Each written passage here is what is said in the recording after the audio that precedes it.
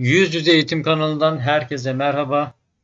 Evet arkadaşlar, yakında yaz kamplarımız başlıyor. Öncelikle 5, 6, 7 ve 8 sınıflar özellikle sizler ve tabii ki üst sınıflardan da yine lise düzeyindeki öğrenciler için de tabii ki e, iki ders, bakın sadece iki ders başlangıç olarak hani yaz kampında iki dersle ilgili arkadaşlar e, kamp programı olacak.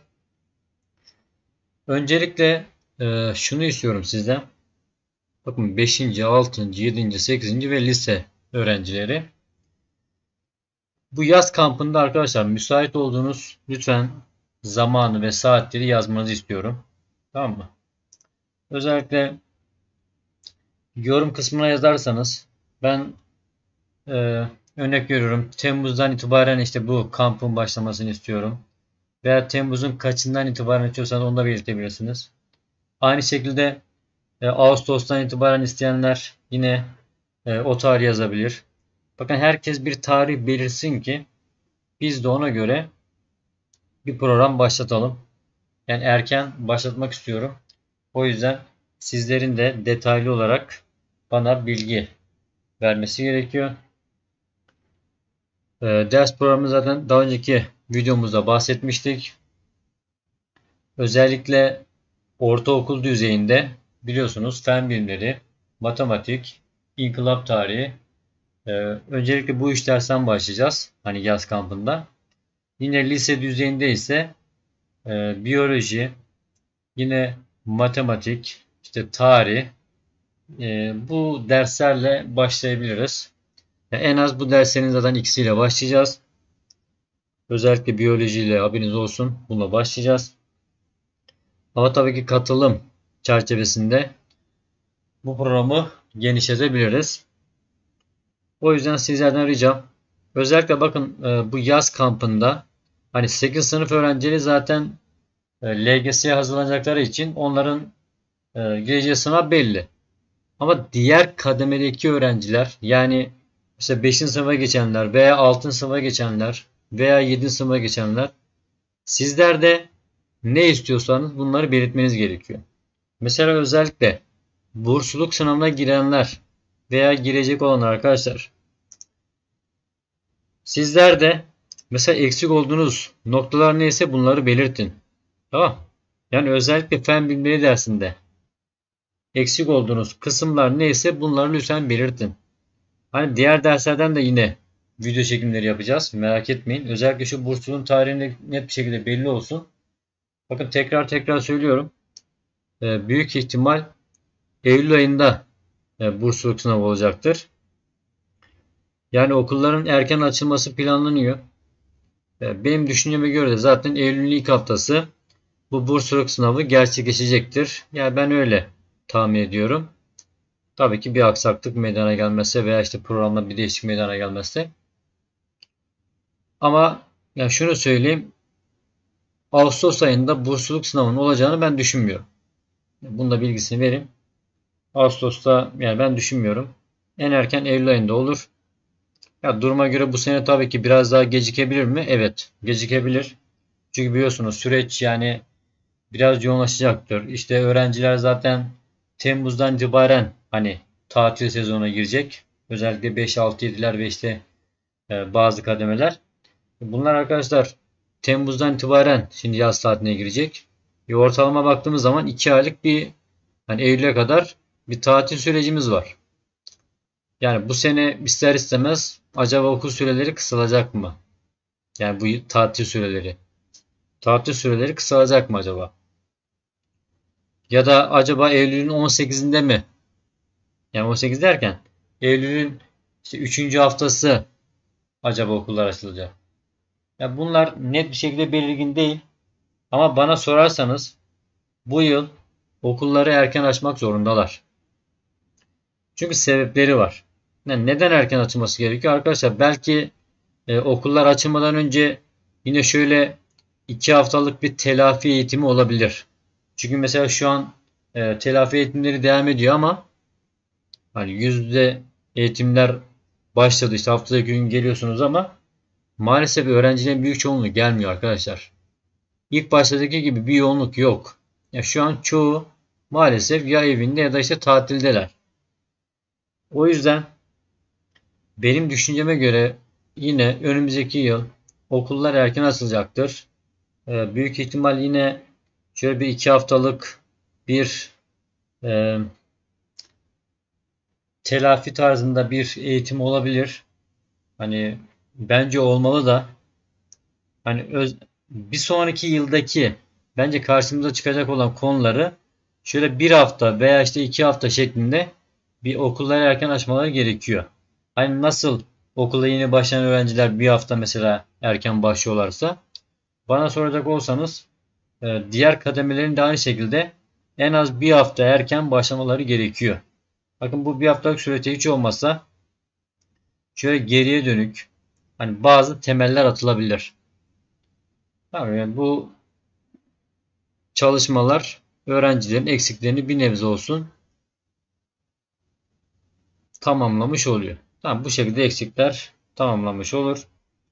Yani dediğim gibi göreceğiz. Hani bu okullar ne zaman açılır? Büyük ihtimal işte önümüzdeki birkaç hafta sonra bu netleşir bana soracak olsanız.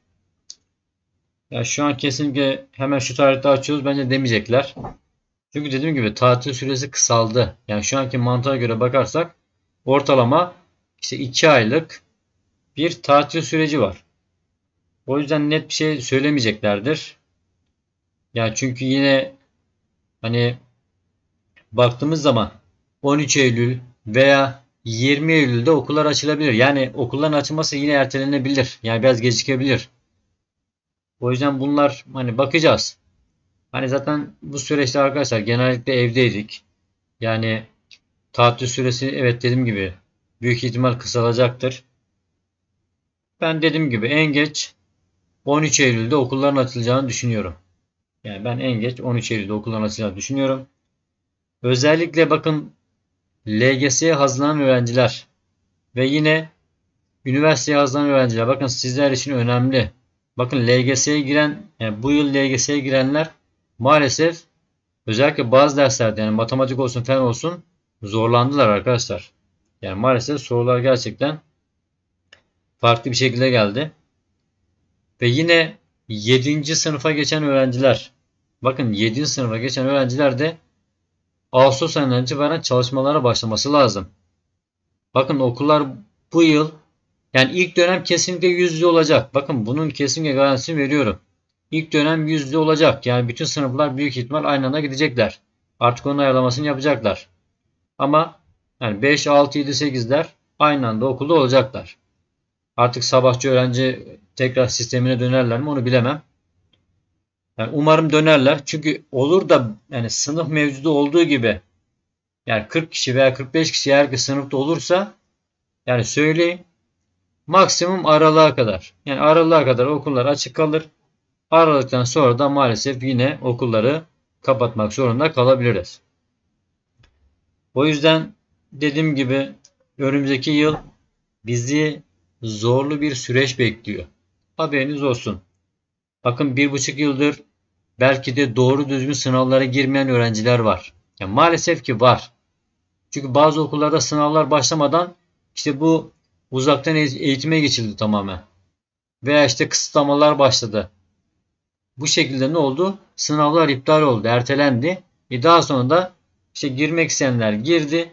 E girmek istemeyenler de e, ders katılım notuyla veya işte ilk dönem notlarını seçerek ne yaptılar? Sınıfı geçmiş oldular. Yani dediğim gibi 7. özellikle 7. sınıf konulara bakın. Hani bunu uyarıyorum. 7. sınıf arkadaşlar biraz daha ağırdır. Haberiniz olsun. Tamam. Yani diğer sınıflardan biraz daha ağırdır. Yani tüm dersler olarak söylüyorum. Biraz daha detay, biraz daha farklı kavramlar karşınıza çıkar.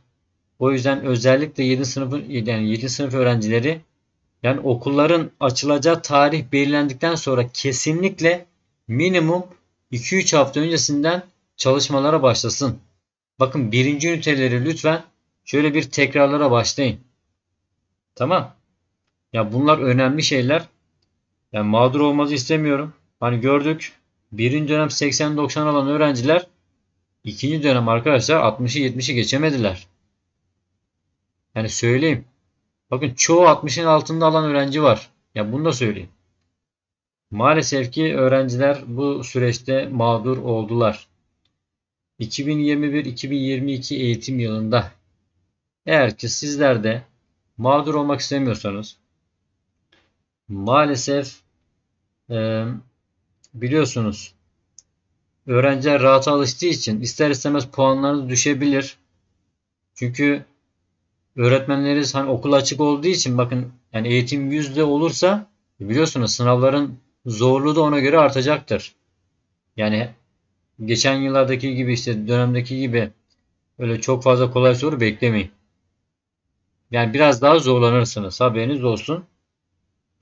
O yüzden size tavsiyem eğer ki tatil sürecini uzatmıyorsanız ki uzatmamalısınız bence. Ya çünkü Temmuz ayında tatilinizi yapacaksınız. Hani diğer şubeler için söylüyorum. Ama sınav sürecindeki öğrencilerin kesinlikle Ağustos'tan itibaren en geç, bakın en geç diyorum. Ağustos'tan itibaren bu çalışmalara başlamaları gerekiyor. Tamam. Yani 2021 yılında maalesef öğrencilerin çoğu yani mağdur oldular arkadaşlar. Bakın ilerleyen haftalarda sonuçlar açıklanacak. Yani göreceksiniz. O yüzden düzenli çalışmamız gerekiyor. Sık tekrar yapmamız gerekiyor.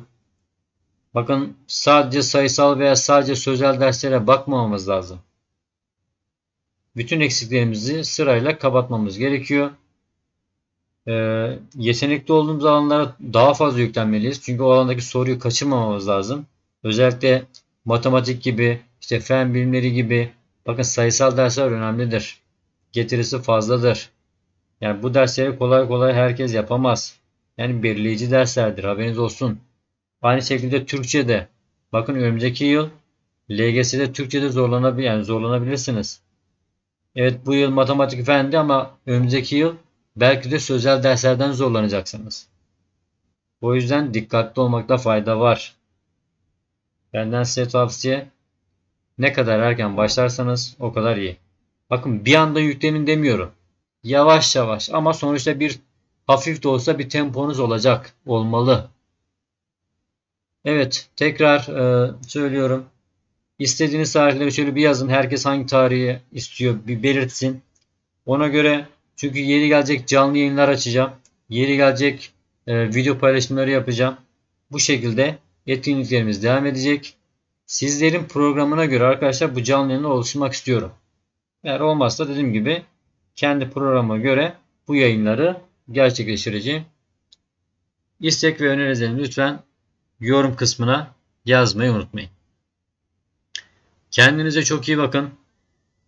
Yüz yüze eğitimle umarım daha başarılı olursunuz. Parolamız arkadaşlar eğitim uzaktan, notlar yüz yüze. Kendinize tekrar iyi bakın. Kanalımıza abone olmayı unutmayın. Videolarımızı beğenip çevrenizde paylaşmayı da lütfen ihmal etmeyin. Görüşmek dileğiyle.